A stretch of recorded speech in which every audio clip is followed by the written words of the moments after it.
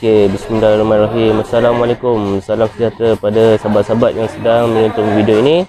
So, apa khabar semua? Harap ceria-ceria selalu. Eh? Jadi, hari ni InsyaAllah kan, uh, Hari ni Boleh kata nightmare sikit lah kan? ha, Nightmare kan? Bukan nightmare apalah Kira Ada sikit kerja berat lah kan uh, So, kes kali ni saya dapat sebuah gitar yang dihantar oleh seorang customer lah. Jadi gitar ni adalah gitar Fender Stratocaster. Jadi Fender ni adalah sebuah gitar replika kan. Jadi bila sebut replika ni dalam bahasa kasarnya kita sebut gitar fake kan ataupun gitar tiruan kan. Ha, daripada segi pembuatannya tak mengikut spek seperti yang original kan? Sebenarnya ada banyak slack lah dekat situ kan? Ha, tapi bukan semua kan? Ha, bukan semua. Ha, cuma yang mana okey tu okey lah. Cuma yang kali ni teruk sikit kan? Ha, masalah kita ni terlalu banyak kan? terlalu banyak.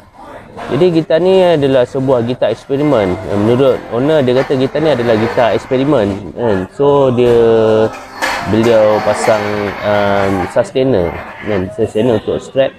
Menjadi isu utama kat sini adalah gitar ni mungkin lah kan mungkin lah I'm not saying that I'm right. Uh, so mungkin uh, mungkin orang yang buat wiring gitar ni dia tak tahu pasal wiring gitar.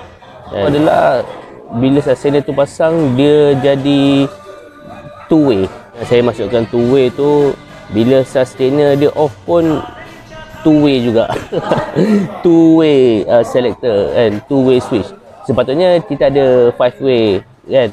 Tapi dia jadi two way. Ha. so masa mula-mula dapat tu memang saya dengar apa macam pelik apa hal pelik ya gitar ni kan? Ha. jadi bila saya buka dalam tu masya-Allah.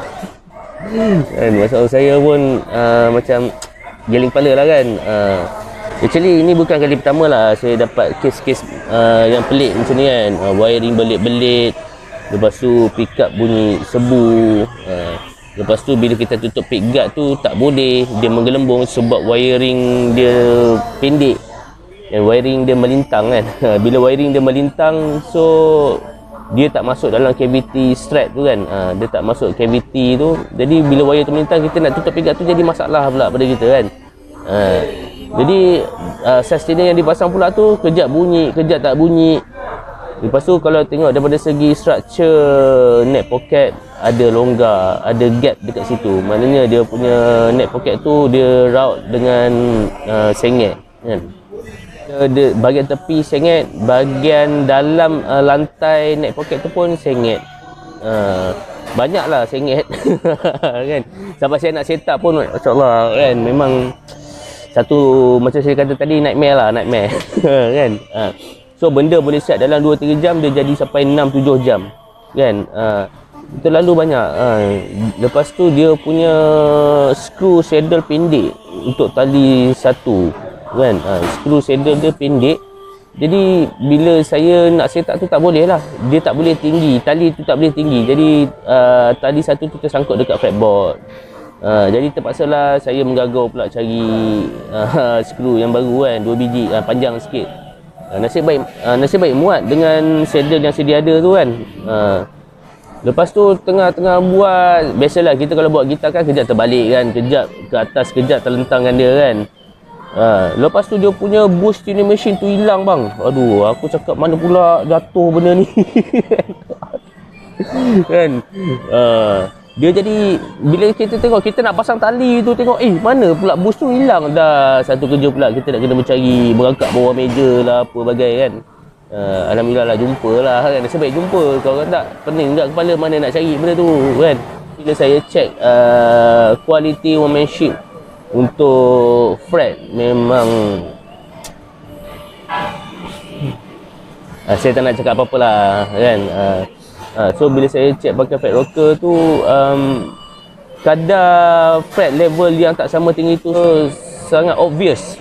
Kalau maknanya kalau dia obvious sangat, jadi memang kalau kita rendahkan tadi memang dia akan jadi dead note terus kan. Uh, bahagian saddle screw tu um, dia rendahkan, jadi screw tu terjojol, dia jadi tajam. Uh, bila kita nak buat pump mute tu kita letak tapak tangan kita dekat atas skru tu kan? Tangan kita jadi berlubang-lubang. Eh, memang tak boleh main sakit kan? Ha, memang tak boleh main. Bila saya belik dia punya uh, fret fret tu kan daripada 15, 16, 17, 18 tu uh, fret tu spacing fret tu ada besar ada kecil ada besar ada kecil. Masya Allah saya cakap sebab saya buat intonation uh, tak dapat tepat kan jauh lagi dia. Kan so saya dapat yang mana hampir je. Kan? yang mana hampir je saya boleh dapat.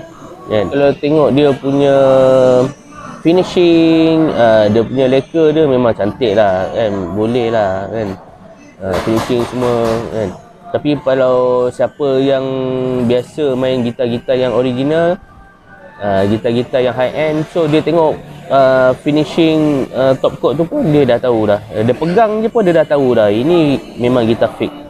Yeah. so menyiarkan segala defect gitar ni saya telah mendapat izin daripada owner tu sendiri dan owner sendiri yang menyarankan saya supaya buat video ni untuk uh, ilmu dan iktibar pada sahabat-sahabat yang sedang menonton video ini. Saya ni bukanlah nak kata nak menghalang sahabat-sahabat semua nak beli gitar apa sekalipun. Itu tu pula masing-masing, duit masing-masing. Cuma saya ingin mengingatkan apa yang kita beli itu yang kita pakai. Uh, jadi untuk gitar ni owner terpaksa keluarkan bajet yang lebih sikit untuk uh, membaik pulih gitar ni kepada keadaan yang optimum semula kan? Uh, daripada beratus dia dah jadi sampai 1k lebih. So 1k lebih tu um, kita dah boleh beli gitar yang uh, mampu milik tetapi berkualiti kan? Daripada trusted seller uh, So owner beli gitar ni sebagai eksperimen saja. Dia ada gitar yang original. Ya. Cuma dia nak cuba kan, beli gitar replika apa dia punya defect betul ke apa yang PXC cakap sebelum ni kan. Ha, punya dia beli memang betul. so uh, bila dah terkena tu uh, baru baru faham uh, memang betul PXC cakap. Uh, tapi bukan semua ada yang okey tu okey lah. Jadi bila seorang yang buat uh, tak elok jadi yang mana luthier yang bagus-bagus semua terpalit sama kan. So tak biasa kan. Ha. Kalau boleh bila kita nak buat satu produk tu kan, so kita check dulu betul-betul uh, baru kita jual pada pembeli kan. Uh, tak kisahlah apa-apa produk sekalipun tapi kita check benda tu biar tak ada defect ataupun kalau ada defect pun kita bagi tahu dia apa defect-defect tersebut kan. Uh, dia punya neck pocket tu dia punya lantai memang sengit, memang sengit habis kan. Saya ukur pakai uh, spirit label yang kecil tu eh, timbang air yang kecil tu memang sengit habis. Kan? Jadi saya terpaksa adjust lah. Dia punya neck pocket tu eh, dia punya neck angle tu saya terpaksa adjust. String action Alhamdulillah saya dapat yang optimal uh, 0.75 mm. Kan? Uh, semua mula tu tak dapat. Saya kena adjust 1.25 baru boleh dapat dia tak buzzing. Uh, lepas tu saya adjust balik neck angle dan sebagainya adjust truss rod. Uh, baru dah ok dan yang paling saya pelik kat gitar ni kan uh, dia punya neck dia tu dekat headstock dia tu uh, slot untuk truss rod nut tu dia seal. Saya cari eh macam mana nak tengok kan? Macam mana aku nak adjust ni uh, truss rod ni kan? Rupa-rupanya truss rod tu dekat belakang neck dekat uh, neck pickup tu. Maknanya saya kena buka dah jadi macam vintage style pula kan. Uh, tapi dia bukan screw dia Allen jadi masa nak adjust tu kan dia macam lain macam pelik sikit lah kan? Uh, itulah dia sedikit sebanyak uh, defect kan? Yang saya boleh beritahu kat sini. Sebenarnya ada banyak lagi. Uh, kalau tengok dekat sini uh, sustainer pun memang dia orang buat uh, DIY lah kan? So dia punya tapak pun dah pecah sebab dia gunakan screw hardware. Screw tu screw besar. Besar daripada lubang tapak tu kan? Uh, so tapak sustainer tu pecah kan. So daripada segi wiring saya rasa ilmu saya pun tak sampai ke situ lagi kan. Uh, saya tak boleh saya tak faham dia punya wiring macam mana kan. Uh, jadi apa yang dibuat kat kita ni akhirnya sustainer tersebut dibuka semula uh, dan diganti dengan neck pickup yang baru dan uh, dibuat wiring uh, strap yang standard uh, dibuat semula kan. Maknanya kita tu hidup balik kan. So alhamdulillah uh, segalanya berjalan dengan lancar lah kan? walaupun banyak halangan. Kan? jadi moral of the story kan? Uh, so apa juga halangan tu kita masih ada option kita masih ada pilihan eh? Uh, so kalau tak ada plan A kita buat plan B. Tak ada plan B kita buat plan C. Tak ada plan C kita buat plan D. Kan? Uh, macam itulah selagi kita ni hidup uh, selagi tu kita ada option eh? So sama-sama kita tonton video yang sempat saya rakam ni uh, cuma sayangnya saya tak sempat saya terlupa nak rakam demo sound dia. Cuma ada sikit je lah demo sound daripada owner kan. Uh, so sama-sama kita saksikan video tersebut